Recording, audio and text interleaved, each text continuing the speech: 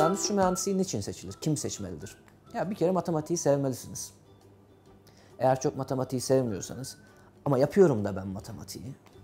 Becerebiliyorum ama ya bu iş öyle değil. Yani daha sonra çünkü siz genelde lise sınavın lise, şey üniversite sınavına girdiğiniz zaman bir hedef oriented bir şeyiniz var. O hedefe gitmek için o, o acı lokmaların hepsini yutuyorsunuz yani. Matematiği çok sevmiyorsunuz mesela ama evet bir kabiliyetiniz var yapabiliyorsunuz. Çünkü onun bir analitiği belli. Yani bir düşünce sistemi var yani. Şey gibi bir sosyal bilim gibi değil yani yeni bir şey ortaya çıkarmıyorsunuz. Bir problem var ve onun nasıl çözüleceği belli. Ama sevmelisiniz yani böyle bir takım ve özellikle endüstri mühendisliğinde niçin bunu söylüyorum mesela bir bilgisayar mühendisi için matematiği çok sevmenize gerek yok. Ama endüstri mühendisliğinde daha sonra matematiksel modeller yaratacaksınız siz. Bu şu anlama geliyor. Bir şeyi yaratıyorsunuz, bir şey ortaya koyuyorsunuz. Dolayısıyla matematiksel bir nosyonu kazanmanız ve bunu sevmeniz lazım. Bunu sevmiyorsanız bu iş bu işin böyle bir başlangıç şeyi yani matematik sevmek. Peki daha sonra endüstri mühendisliği için. Şimdi endüstri mühendisliği için genelde çok sosyal olmak lazım gibi bir şey dönüyor.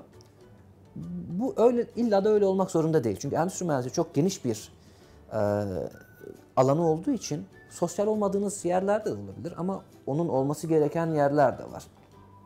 Bir pazarlamada, marketing üzerinden devam etmek istiyorsanız kariyerinize Evet yani iyi bir sosyal yeteneklerinizin, kabiliyetlerinizin olması gerekiyor. En azından toplum içerisinde konuşabilmek, sunum yapabilmek, iyi algılayabilmek ve bunu aktarabilmek. Bu da önemli bir şey oluyor. İnsanlarla iyi bir network kurabilmek. Zaten günümüz dünyası network üzerinden dönüyor. Şahsi kabiliyetler çok önemli değil. Bağlantılar üzerinden gidiyor.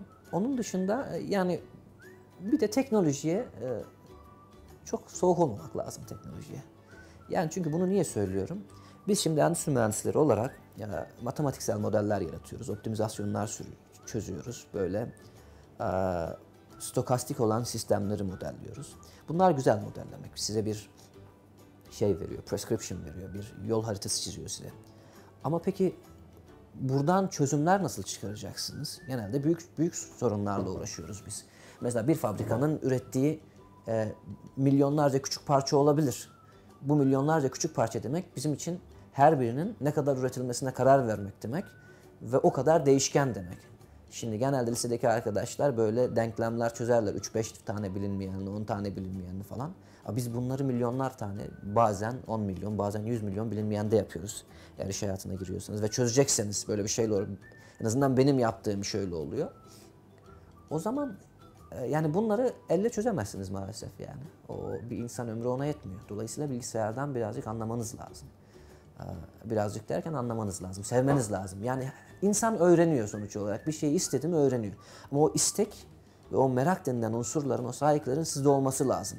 Şu işe böyle yanaşmamalısınız. Yani şöyle tamam hallederiz falan, bakarız, öğreniriz değil. Nasıl yaparız? Niçin yapmalıyız? Daima böyle bir koşuşturmanın içerisinde, daima bir merakla yaklaşmak lazım.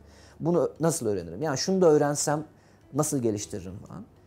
Böyle bir yani benim için yani bir matematiğe olan iştiyak, ona karşı bir aşk, bir de teknolojiyle alakalı olmak. Bu size yol aldırıyor daha sonra zaten. Ama bu genelde diğer şeyler için de dediğim gibi yani çok e, biraz da bireyin e, tecrübe etmesi. Yani eğer çok fazla e, ya ben şunu yapmam demiyorsa bir insan genelde bunu içine girdiği süreçte öğreniyor. Yani evet çoğu insan yapabiliyor.